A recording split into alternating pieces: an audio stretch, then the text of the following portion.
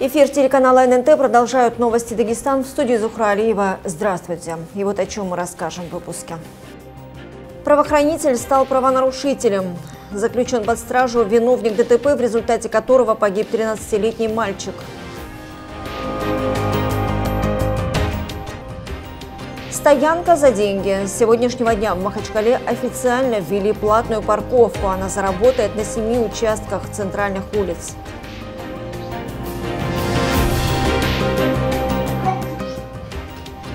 Протянем руку помощи. Как помочь трехлетнему Умару в борьбе с недугом? Смотрите в выпуске.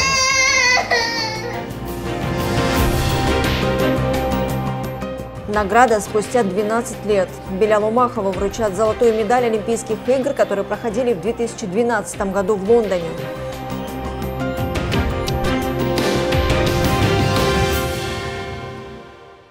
Шесть человек погибли, в том числе один ребенок в результате аварий, которые произошли в Дагестане на минувшей неделе. Как сообщает ГИБДД региона, еще 28 человек, среди которых трое несовершеннолетних, получили травмы различной степени тяжести. Всего с 18 по 24 марта на дорогах республики зарегистрировано 19 ДТП. И в продолжение темы Кировский районный суд Махачкалы арестовал до 22 мая виновника ДТП, в результате которого погиб 13-летний мальчик. Напомним, что авария произошла вечером 21 марта на федеральной автодороге в пригороде Махачкалы. Водитель Кадиллака в состоянии алкогольного опьянения сбил возле торгового центра «Караман» женщину с ребенком. Мальчик от полученных травм скончался на месте происшествия, а его тетя с тяжелыми травмами попала в больницу. Возбуждено уголовное дело по статье о нарушении правил дорожного движения и эксплуатации транспортных средств.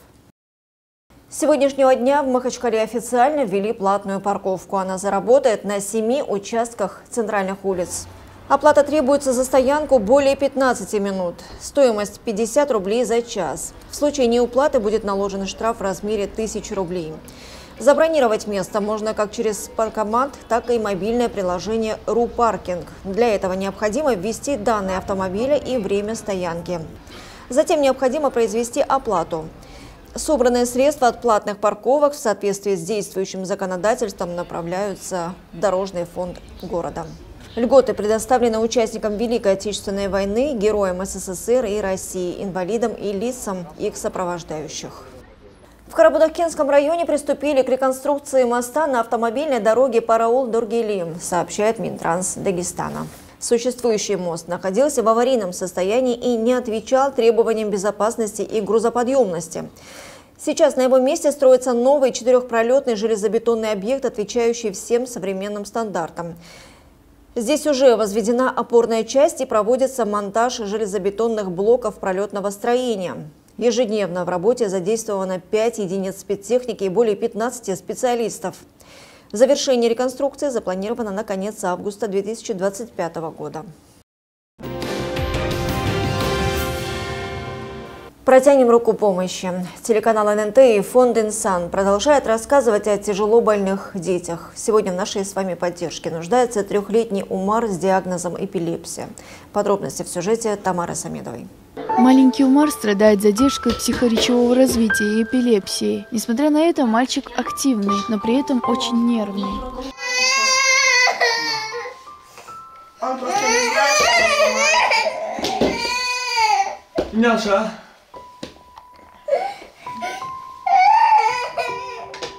Когда Умару было всего 4 месяца, у него начались первые приступы. После чего мама мальчика Кизилгюль обратилась к местным врачам, которые поставили мальчику такой диагноз. Изначально же вы не знали, что он болеет? Mm-mm. В 4 месяца узнал. Mm-hmm. А у него приступ или что было сразу? Да, он судорогу дал резко. Да. 10 минут, 15 минут продолжительность, 15 минут судороги были. Я была тогда в селе, у нас нет возможности ехать, не, не, не получилось и поехать в район, точнее получилось поехать, возможности не было. Потом уже приехала сюда и уточняла, да, короче, в чем же проблема, причина точнее. Глава семейства Юсуф, как и мать, очень переживает за сына. Всеми силами родные стараются помочь ребенку. Мальчик у нас очень активный, на месте никогда не сидит. Ну, переживает за это тоже. Гиперактивный. Ну, домой прихожу просто, я вижу, ну, очень гиперактивным. Ну, переживает, да, за это, я думаю, это нехорошо. Вот, и из-за этого мы хотим поехать. Вот частые судороги. Все, кто могут, помогите, пожалуйста. Мы хотим вылечить нашего ребенка. Супруги живут на съемной квартире. Денег хватает только на то, чтобы прокормить семью. Но для того, чтобы мальчику стало лучше, необходимо пройти лечение в Москве. А это стоит немалых средств. Одна надежда на поддержку неравнодушных людей. Инсан открывает сбор для Умара в размере 140 тысяч рублей. Вместе мы можем стать причиной исцеления подопечного. Для этого достаточно перечислить любую желаемую сумму, перейдя по QR-коду, который вы видите на ваших экранах, или через мобильное приложение благотворительного фонда. Тамара Самедова, Нурмагомед Магомедов. Новости ННТ Махачкала.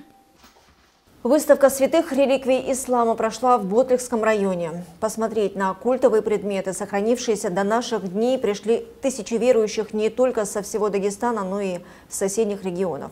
Организаторы мероприятия – Муфтият Республики совместно с администрацией муниципалитета.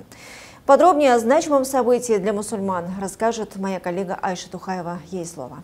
Отправка реликвий до пункта назначения сопровождалась торжественной атмосферой. Это уже стало традицией в Дагестане с почестями встречать и провожать колонну. Подобный почет, который в республике оказывают памяти пророка Мухаммада, мир ему благословения, вызывает восхищение у арабов, хранителей наследия пророка, мир ему благословения. А когда у нас в Каспийске была выставка реликвий, весь мир же об этом увидели.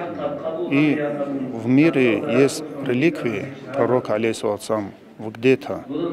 Но там, к сожалению, этим реликвиям еще в нынешнее время вот относится, как-то они не умеют уважать, вот, э, как-то вот ценить эти реликвии.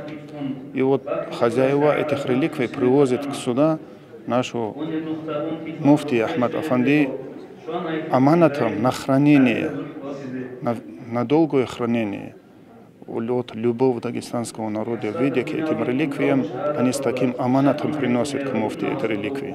Вот так они каждый год вот добавляются к нам, эти реликвии. Джума-мечеть, где проводилась выставка, была украшена старинными предметами быта. Весь район был стилизован под эпоху ушедших веков. Ботлихский район во второй раз за свою историю принимает реликвии и преображения не только внешние. Глава района отметил, что после первой выставки отмечался духовно-нравственный подъем у жителей. Несомненно, после этой выставки люди становятся другими, добрее, более открытыми, более доброжелательными друг другу. Э, не говоря уже о тех, кто не любит друг друга, э, благодаря этим реликвиям кровники мирятся, как мы знаем, это множество историй. И теперь э, мы начинаем понимать тех мединцев, которые ждали нашего посланника, мир ему и благословения Всевышнего во время хиджи, как они скучали по нему. Все время выставки в джума-мечети Ботлиха в зонированной комнате непрерывно днем и ночью читались аяты Корана, проповеди и мавлиды. Чтецы разных возрастов сменяли друг друга. Уже где-то, наверное, 50 человек разных. Сейчас тоже э, другая группа должна прийти, те, которые будут читать молит. Если какой бы народ да, э, не собрался читать речь Всевышнего Аллаха, если они соберутся, их охватывает милость Всевышнего Аллаха, окружают ангелы. До семи небес их окружают ангелы.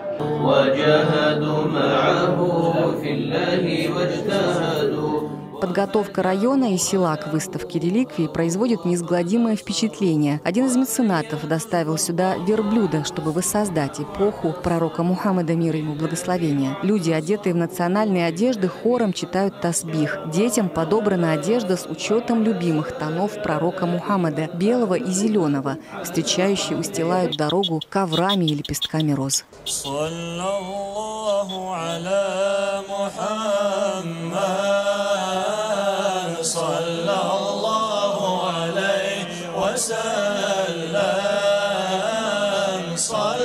Здесь же, в Ботлихе, каждый прибывший мог отпустить пост. Еды было приготовлено с учетом большого количества гостей. Самое глубокое чувство среди всей умело созданной атмосферы тепла и гостеприимства вызывал вид реликвий. Мне это очень понравилось, так как э, мне э, впервые удалось увидеть эти реликвии пророка Мухаммада. Э, а также э, мне, нрав... мне понравилось то, что э, все наше село, вся наша школа пришла сюда. И это великая честь для меня. Баркаллах, хочу сказать, кто организовал это, в первую очередь Ахмад Хаджи, нашему предводителю мусульманское духовное управление Республики Дагестан. Ему спасибо, а также кто поддерживал. Многое делается для э, поддержания ислама, наш муфти, муфтият. Эмоции у меня лично, мое мнение, эмоции у меня зашкаливают. Почему? Потому что все, что видя, как они ехали, как их встречали, как они э, все это представили, очень эмоционально, очень красиво. Это такое событие, я вам скажу, одно даже вот это намечание вот этого столько всего чистоты по всему району, не только по району, а начиная с Черкаты, я сам туда ездил, смотрел, по дороге видел, все убрано, чисто, красиво. Даже вот это одно событие, которое намеревалось сделать, вот такую чистоту, порядок принес. И, конечно, вот столько гостей, сколько всего единство вот такое. Посетители со всех уголков Дагестана, в том числе гости из Чечни и Ингушетии, круглосуточно пребывали для того, чтобы взглянуть на реликвии. Также на выставке побывали муфти Татарстана, Свердловской области и Новосибирска. Собралось очень много различных аспектов. Во-первых, месяц Рамадан. И о месяце Рамадан наш любимый пророк, саллиллаху алейхи говорил, «Ида дахаля Рамадан», когда наступает месяц Рамадан, «Футихат абу джанна», открываются двери рая, гуликат абабу ниран, закрываются двери джаханнама, васульсиляти шаятын и шайтаны прикрепляются на цепи. То есть шайтан не мешает нам, поэтому нам гораздо легче держать уразу. Например, если мы сравним с месяцем Шауаль, 6 дней после Рамадана, это очень сложно продержать, потому что шайтан уже выходит.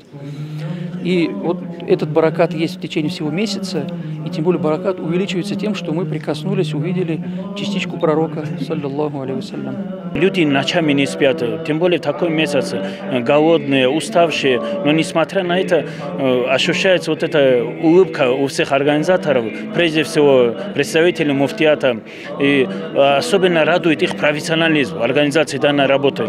Э, никакого неудобства для местных жителей не создается, а наоборот, э, вот они приносят радость в сердца каждого жителя. Так что просто большое человеческое горское Баркалва. Каждый экспонат несет в себе глубокую благодать. Все посетившие выставку ощущают на себе ее воздействие. Следующим для экспозиции реликвий стал Ергебельский район, селение Мали. Айша Тухаева, Халид Ахмаев, Ислам Халиков, Дауд Гасанов. Новости ННТ, Ботлихский район.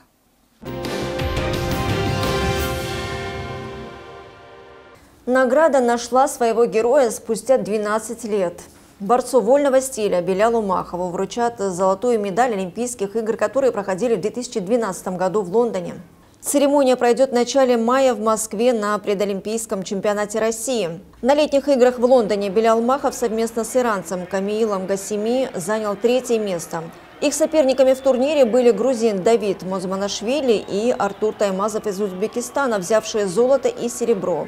В 2019 году финалистов лишили медалей, так как перепроверка выявила наличие запрещенных веществ в их допинг-пробах. В итоге было принято решение отдать золотые медали бронзовым призерам. Белял Махов, уроженец Кабардино-Балкарии, большую часть своей карьеры он тренировался Хасавюрте представлял Республику Дагестан. Ему трижды покорялась вершина чемпионата мира. Матчи 24-го тура первой лиги перенесены из-за трагедии в Крокус-Сити Холл. Это связано с запретами на массовые мероприятия в регионах. Напомним, что «Динамо» в минувшие выходные должен был в Каспийске сыграть с лидером турнирной таблицы подмосковными «Химками». Эту, а также все остальные игры тура перенесут на резервные дни. О новых датах пресс-служба первой лиги сообщит дополнительно. Таковы новости к этому часу. Всего доброго и до встречи.